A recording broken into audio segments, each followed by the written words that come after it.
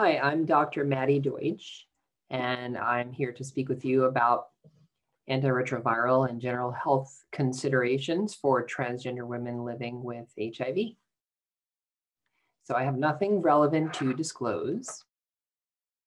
And I thought I would start out with just some general definitions and help you have a better understanding of the community. I think that better understanding the community terminology, culture, as well as some of the social determinants and some of the behavioral considerations really help you better connect with your patients, better understand some of the factors that may keep them out of clinic or interfere with their ability to engage in care or adhere to antiretroviral medication. be, I think this will be very useful for you in implementing in your practice setting. So transgender is a term that describes people who have a gender identity that differs from the sex they were assigned at birth. Gender dysphoria describes a state where there's a, the discordance between your gender identity and sex assigned birth actually causes distress. And so not all transgender people are experiencing gender dysphoria at any given point in time. A lot of transgender people no longer have dysphoria once they've been able to access a range of gender affirming interventions and treatments, including hormone therapy or surgery. Uh, the problem is that the ICD coding scheme does not have a diagnostic code for the care of a transgender person who does not have dysphoria and just needs maintenance hormone therapy, for example.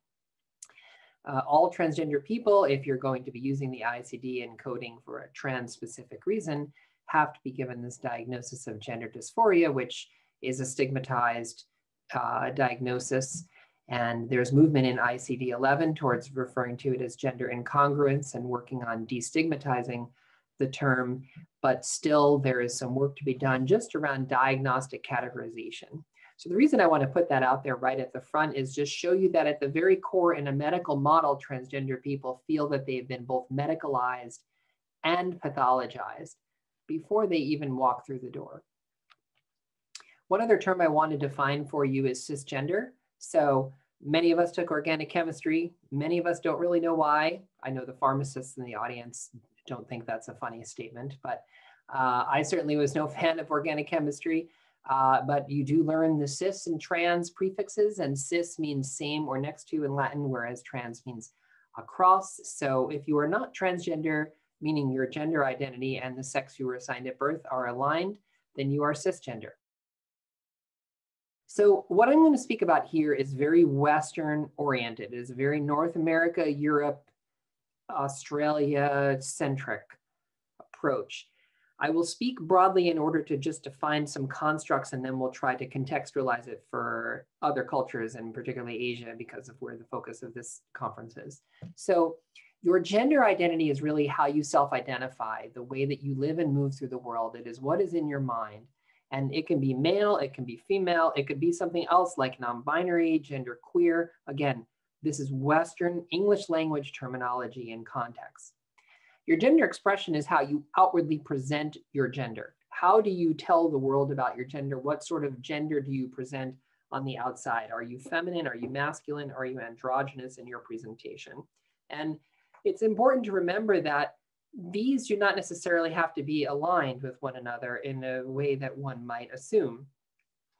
People may have to vary their gender expression depending on the context that they're in. They may not be able to be out or visibly trans in certain life or mm, cultural contexts. And then they code switch at other times into a different expression.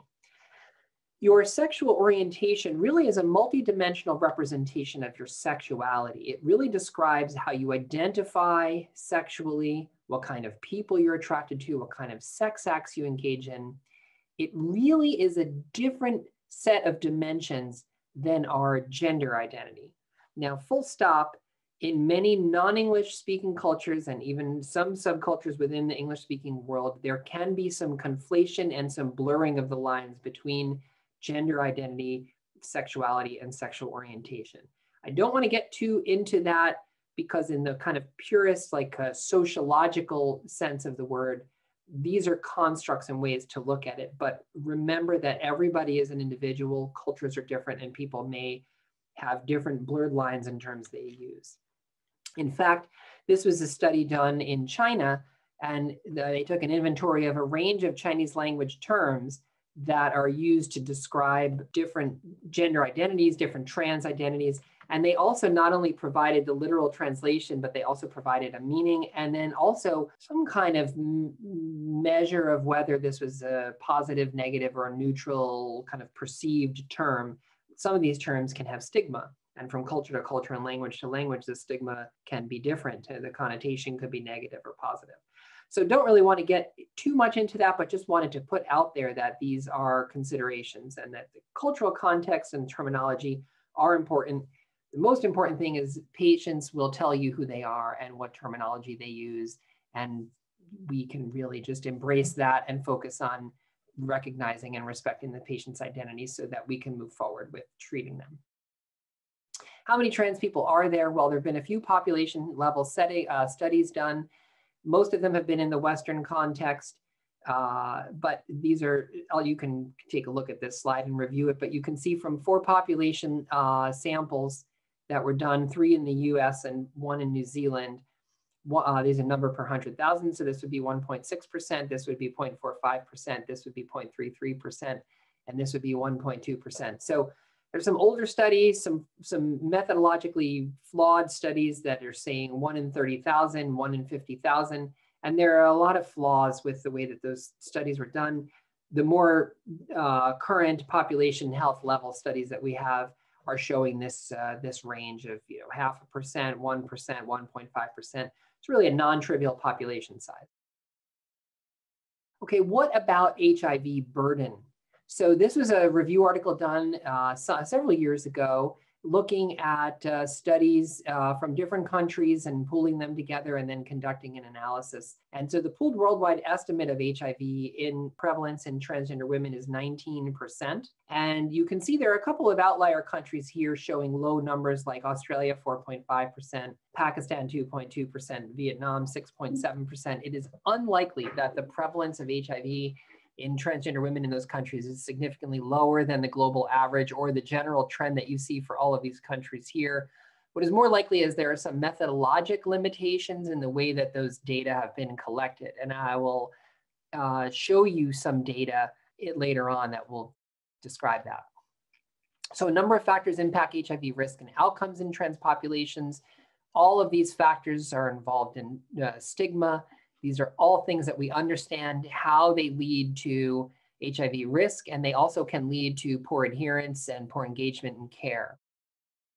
So I just wanted to put this up here. In addition to behavioral factors, there are direct linkages between trauma and psychosocial and behavioral contributors to actual inflammatory changes in the body that result in activation of the adrenal axis, resulting in increased inflammation, cardiometabolic, and other health risks. And so uh, particularly in an HIV context where we're already concerned about increased cardiometabolic risk to inflammatory changes.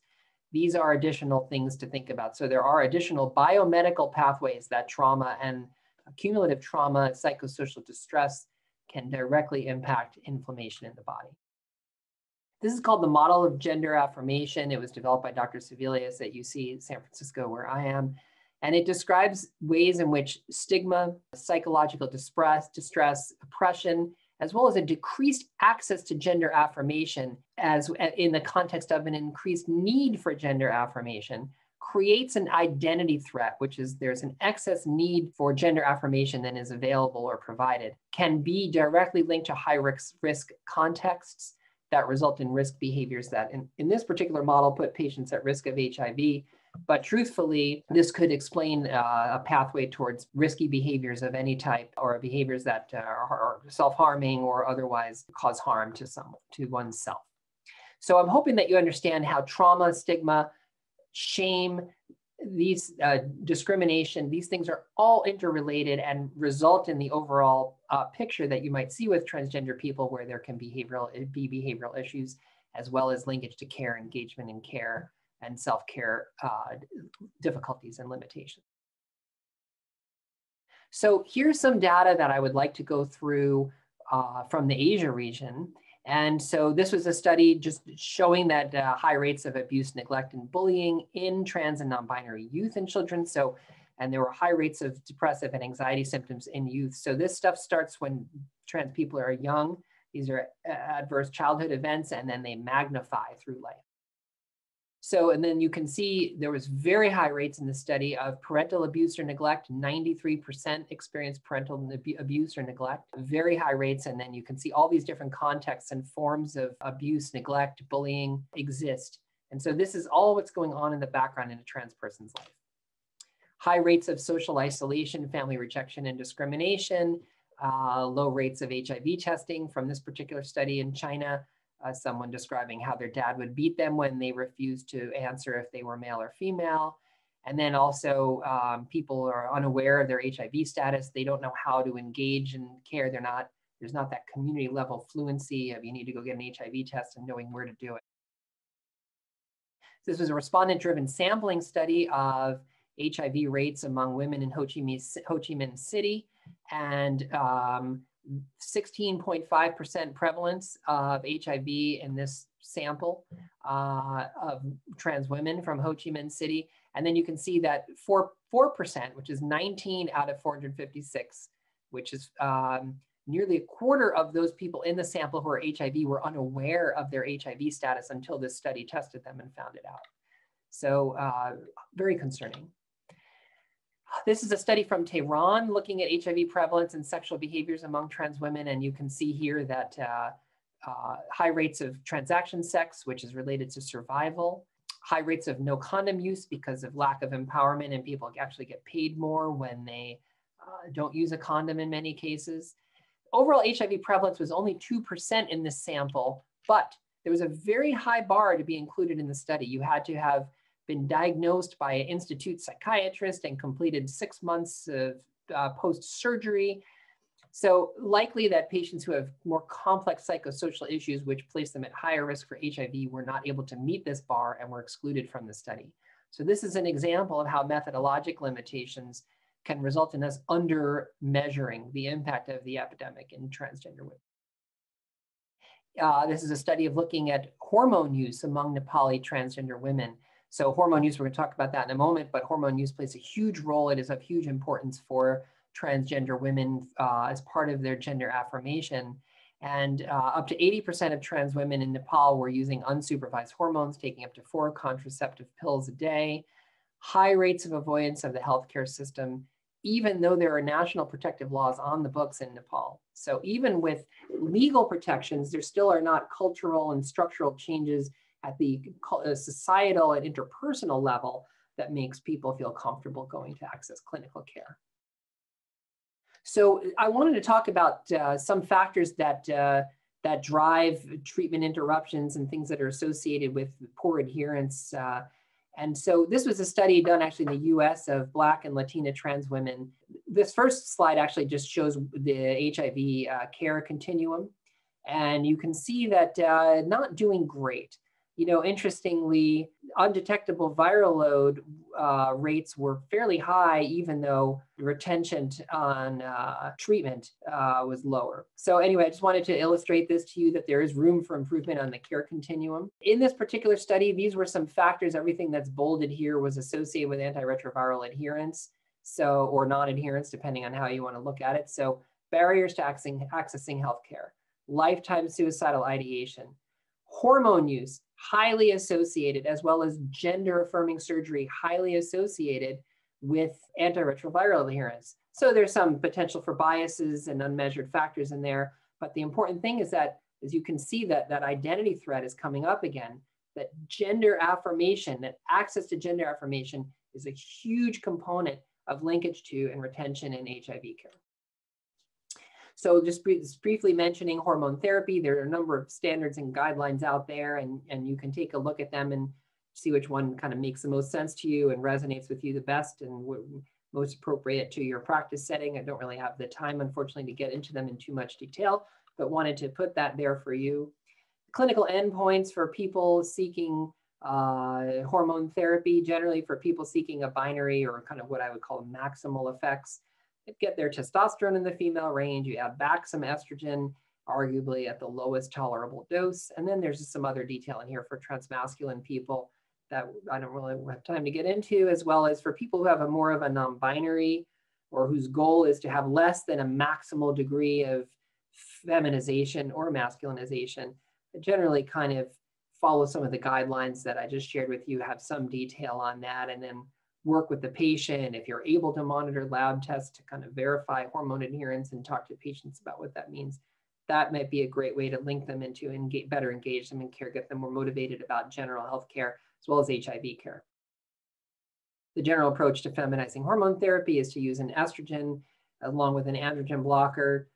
Uh, most commonly used is spironolactone in Western contexts, and then sometimes a progestogen is used.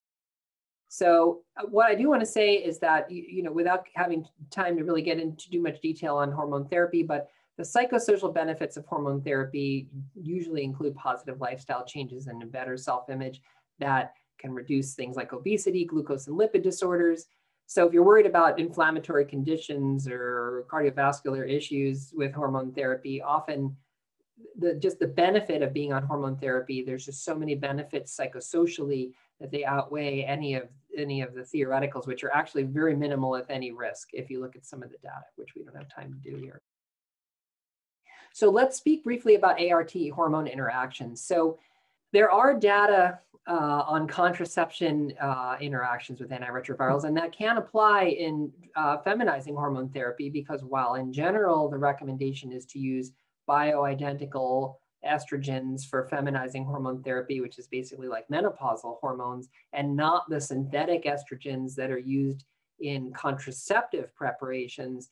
A lot of times, as sh I showed you earlier, um, transgender women are using contraceptives for their feminizing care often self-medicating or that's all that's available from the formulary in that particular context. So in any case, looking at data on contraception interactions with antiretrovirals, it is mixed. But most of the data suggests that the impact would be, if at anything, on the effectiveness of the contraceptive, not on the antiretroviral. So th this can raise concerns with transgender women because often they prioritize hormone therapy over other treatments. So they don't want to have um, antiretrovirals affecting the progress of their feminization. So we'll talk a little bit that in a moment, but the reality is, is that while it may impact the effectiveness as a contraceptive, we're not worried about contraception. So it's unlikely that there's any significant interaction in, in that direction. Uh, there's probably not much of an interaction in the direction of impact on antiretrovirals with regards to treating HIV and then you know just kind of put that out there do these studies apply these feminizing hormone contexts. We just don't know. There's a citation there that you can review if you if you're so motivated these last couple slides what i want to share with you these are a couple of studies done on pre-exposure prophylaxis and interactions in this particular study that i was a, a co-pi for interaction between tenofovir and feminizing hormones we did direct observed therapy uh, the short story is we looked at dried blood spots we used historical controls from a group of transgender women who are HIV negative taking PrEP. And we found that uh, this is CGW cisgender women and TGW transgender women. So you can see that transgender women after four weeks of PrEP did have lower levels in their dry blood spot of tenofovir diphosphate than did cisgender male or cisgender female controls. And if the magic number for levels in dry blood spots is about seven to 800 for 90% risk reduction, then you could say, hmm, maybe some of these transgender women are dipping down a little bit uh, below the threshold of treatment. Not really clear. It's, uh, you know, even with the error bar there, it's, it's probably not clinically significant, but there is a statistical significance there. I'm going to actually come back to that slide. I want, I want to show you this slide first. This was another study that looked at pretty much the same thing using slightly different methods. And they also looked at emtricitabine levels as well as tenofovir. And they looked at tenofovir as well as tenofovir diphosphate. And the solid line are cisgender female controls. The dashed line are transgender females. And you can see there's statistically significant lower levels of both drugs at different time points after another DO. This is a directly observed therapy PK study. So these two studies suggest that there may be a slight lowering of tenofovir emtricitabine levels in the context of hormone therapy. Whether or not that's clinically significant is Probably not. Where it may come up is in 211 dosing. So if you have someone who's going to be do episodic PrEP dosing, or if you have somebody who has adherence challenges and normally say about four pills a week is adequate to get you to that magic number of protection, maybe you need five pills a week of, of adherence for transgender women to reach that, that protective level. We need more data on this particular topic. But the take home is that it is highly unlikely that there's a large effect size of any impact of feminizing hormones on PrEP effectiveness. If anything, it's probably very small. And so PrEP should still be given. What I want to show you is that this was just very briefly estradiol levels before and after four weeks of PrEP use in our study did not statistically change. So this is as more reassurance that um, the antiretrovirals are not going to have a negative effect on hormone therapy for transgender women. And the last, this is, this is just another table of, of hormone data from that second study that you can take a look at in your handout if you like. And so uh, just to, really to summarize, data are limited, we need more data, and then these two recent DOT studies uh, found what I said, so you can take a look at this in your handout. Last topic, I just want to put this one slide up here. Soft tissue filler injections are commonly used by transgender women who don't have access to gender affirming care. They may have large volume injections by unsupervised or unlicensed providers. Sometimes it's referred to as silicone, but it really can be any of these things, fix a flat, medical grade silicone that's obtained and given in large volume, like two to three liters. And there can be a whole range of inflammatory soft tissue damage, granuloma that develop there's a case report of somebody developing an iris syndrome uh, that was triggered by the presence of subcutaneous silicone fillers. This is a whole other topic. I just wanted to put it on your radar that it's something out there that exists. And you know, there have been at least been case reports of iris developing when someone has these indwelling injections. And now I believe we will go to questions. Thank you very much.